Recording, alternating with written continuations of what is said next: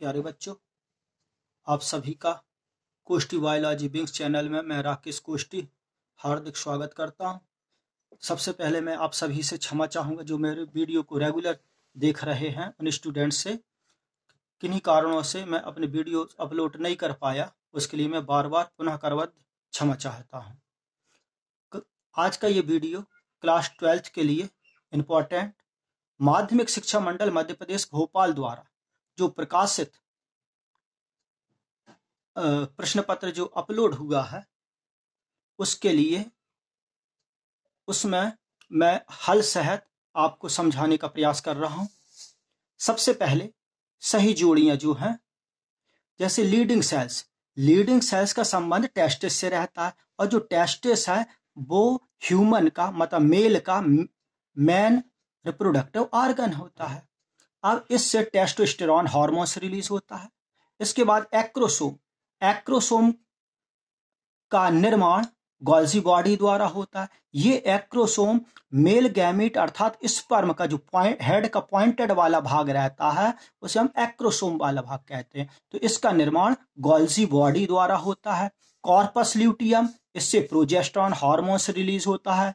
मीनोपॉस का संबंध रजो निवृत्ति से होता है, अर्थात महिलाओं में किन्हीं में 45 और किन्हीं में 50 वर्ष के बाद में उनका पीरियड्स आना बंद हो जाते हैं। उसी घटना को हम रजो निवृत्ति कहते हैं। इसके बाद शुक्र जनन नलिकाएँ अर्थात जिनका संबंध सर्टोली सेल्स से रहता है। इसके बाद है मालथस।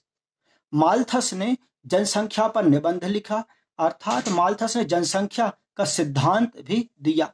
बैसेक्टोमी जनसंख्या नियंत्रण की पुरुषों में अपनाई जाने वाली एक पद्धति है, जिसमें उनकी वॉश डिफरेंस यानी शुक्र स्पर्म को ले जाने वाली जो नलिका रहती है, उसको कट कर दिया जाता है। ट्यूबेक्टोमी का संबंध महिला नसबंदी से रहता है, अर्थात स्त्रियों से रहता है, जो कि जनसंख्या नियंत्रण का एक कारण है भी है। जनसंख्या सॉरी जनगणना जनगणना सेंसस, एमनियोसेंटेसिस, ये इसके द्वारा लिंग निर्धारण का भी पता लगाया जाता है। वैसे तो एमनियोसेंटेसिस भ्रूणी विकास में होने वाली उपापचय क्रियाओं से संबंधित विकार या उसका विकास किस तरह से हो रहा है, उसमें किसी प्रकार की भविष्य में कोई विकलांगता तो नहीं आएगी, उन सभी की जानकारी हम एमनियोसेंटिस से लगा सकते हैं। लेकिन उसका गलत उपयोग होने लगा निर, लिंग निर्धारण में। ठीक इसके बाद आता है अपूर्ण प्रभाविता। अब मेंडल ने मटर के पौधे पर जो आनुवांशिकी संबंधित जो कार्य किए थे तो उन्होंने कुछ नियम प्रतिपादित किए थे। उनमें से एक एक है अपूर्ण प्रभाविता का नियम। इस ये रिलेटेड है गुलाब बाँस से। वाय गुणसूत अर्थात लिंग गुणसूत यानी मनुष्य में दो प्रकार के गुणसूत्र पाए जाते हैं आटोसोम्स और हेटेरोसोम्स। हेटेरोसोम अर्थात सेक्स क्रोमोसोम, जिसमें जो वाई क्रोमोसोम रहता है, वह नरपन का निर्धारण करता है, अर्थात उसका जो संबंध रहता है, लिंग निर्धारण सेक्स डिटर्मिनेशन से रहता कलर ब्लाइंडनेस यानी वर्णांधता, यह लिंग सहलग्न रोग है। तो ये जो कलर ब्लाइंडनेस यानी वर्ण, रंग वर्णांधता है यह एक आनुवांशिक रोग है, जो पीढ़ी दर पीढ़ी संचरित होता जाता है। इसके बाद है चौवालीस एक्स एक्स, धन डबल एक्स वाई, अर्थात ये एक सिंड्रोम है। यहाँ पर चौवालीस एक्स एक्स जो दिए हैं, ये ऑटोसोम्स को निर्धारित करते हैं, यानी उनको दर्शाते हैं, और डबल एक्स जो दिया है, वह लिंग गुणसूत्रों का निर्धारण करता है, जो फीमेल्स में पाए जाते लेकिन यहाँ पर एक वाई एक्स्ट्रा है। अर्थात ऐसी महिलाओं में क्या पुरुष का एक गुणसूत्र ज़्यादा पाया जाता है, जिससे महिलाओं में पुरुष के कैरेक्टर्स उत्पन्न हो जाते हैं। उससे हम क्लीने फ़िल्टर सिंड्रोम कहते हैं। इसके बाद है विषम युग्मजी। अर्थात जिसमें जो जीन प्रारूप रहते हैं, वो अलग अलग रहते हैं। यदि यहाँ पर कैपिटल टी या कैपिट दोनों स्मॉल टी होते तो वो समयुग्मजी होता है। लेकिन यहाँ पर एक कैपिटल टी है, एक स्मॉल टी है। अर्थात ये विषम युग्मजी है। अर्थात जीन प्रारूप, यानी जीनोटाइप्स इसके बाद आता है वंशागति का आणविक सिद्धांत। उसके अंतर्गत केंद्रीय सिद्धांत। केंद्रीय सिद्धांत ये दिया था एच एफ़ सी क्रिक द्वारा। ओपेरॉन अवधारणा, जैकोब और मोनोड द्वारा प्रतिपादित की, प्रस्तुत की गई। न्यूक्लिक एसिड, न्यूक्लियस यानी केंद्रीय अम्ल, यानी डीएनए, यानी deoxy ribo nucleic acid. वैसे न्यूक्लिक जो एसिड रहते वो टू टाइप्स के रहते आरएनए और डीएनए। आरएनए का फुल फॉर्म होता राइबो न्यूक्लिक एसिड, यहाँ पर डीएनए का फुल फॉर्म है डीऑक्सी राइबो न्यूक्लिक एसिड।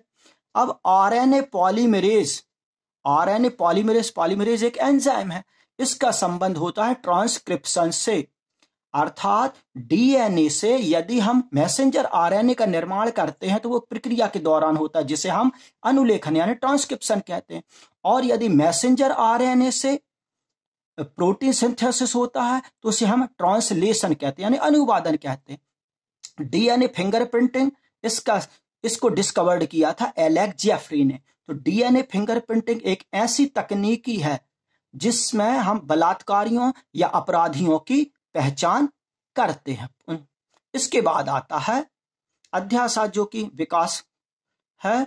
अध्यासात विकास और जिसको विलोपित कर दिया गया है। कोरोना महामारी को देखते हुए कुछ कोर्सेस कम किए गए थे बोर्ड द्वारा। इसके बाद है अध्याय आठ का है मानव रोग, मानव स्वास्थ्य एवं रोग। अब एड्स।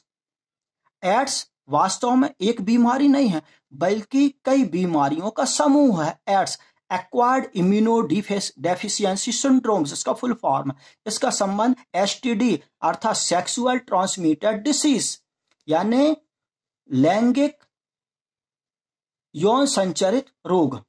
इसके बाद है प्रतिजैविक, यानी एंटीबायोटिक्स एंटीबायोटिक्स की खोज अलेक्जेंडर फ्लेमिंग ने की।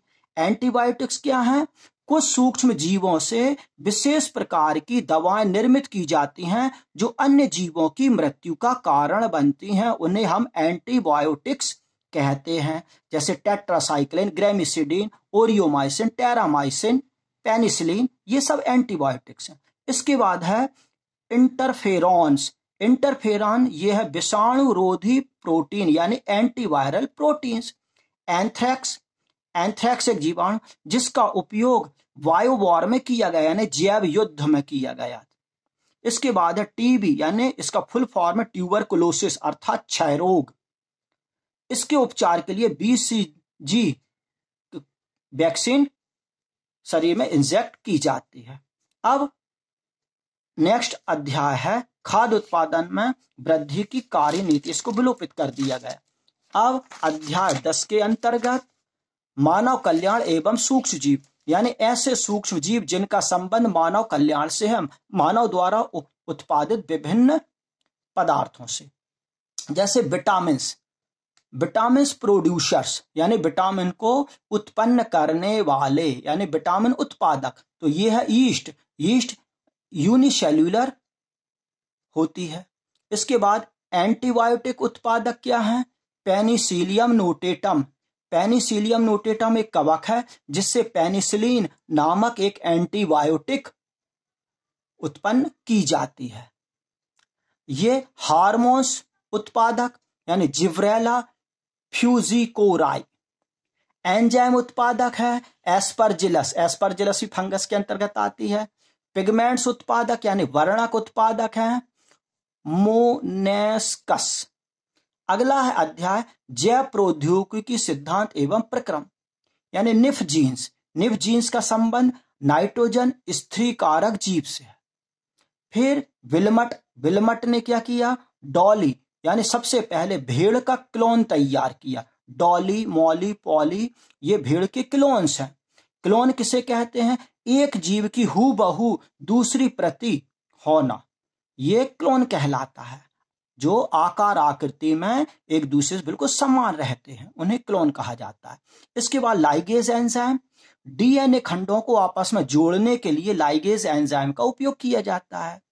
फिर पीबीआर तीन सौ बाईस, ये क्लोनिंग वेक्टर है, यानी क्लोनिंग संवाहक है। Gel electrophoresis ethidium bromide gel electrophoresis एक ऐसी विधि है जिसमें डीएनए के खंडों को, उनके आकार, आकृति के अनुसार अलग अलग भागों में विभक्त किया जाता है।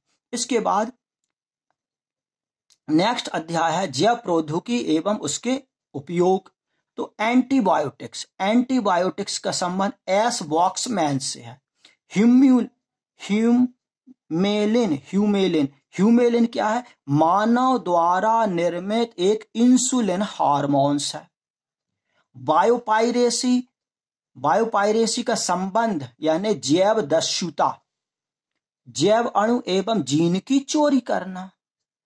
Interferon, antiviral proteins. इसके बाद नेक्स्ट है जीव एवं समिष्टियाँ, यानी जल क्रमक अनुक्रमण का संबंध होता है झील से, लेक से, अपर्दन, यानी प्रारंभिक काल आक्रमण, यानी आस्थापन, चरम सीमा, चरम अवस्था, यानी क्लाइमैक्स यानी स्थिरीकरण और सिपेरस का है ना, बड़ अनूप। लास्ट अध्याय है, पारित यानी इकोसिस्टम टेन परसेंट जो ऊर्जा का टेन परसेंट ला है, वह एनर्जी फ्लो से संबंधित, यानी ऊर्जा के प्रवाह से संबंधित। अब कुछ शेर, चीता, सांप वगैरह, ये है तृतीयक, यानी थर्ड थर्ड कंज्यूमर्स यानी जो कि कॉर्निवोरस रहते मांसाहारी रहते पायोनियर समुदाय का संबंध क्रस्टोज लाइकेन से। जीवाणु और कवक ये अपघटन करता है डिकम्पोजर्स है। चरम समुदाय, यानी क्रमक में अंतिम अनुकरण की अवस्था आती। और स्पाइरोगारा एक एलगी है, जो फाइटो के अंतर्गत आज के इस वीडियो में इतना ही। Thank you.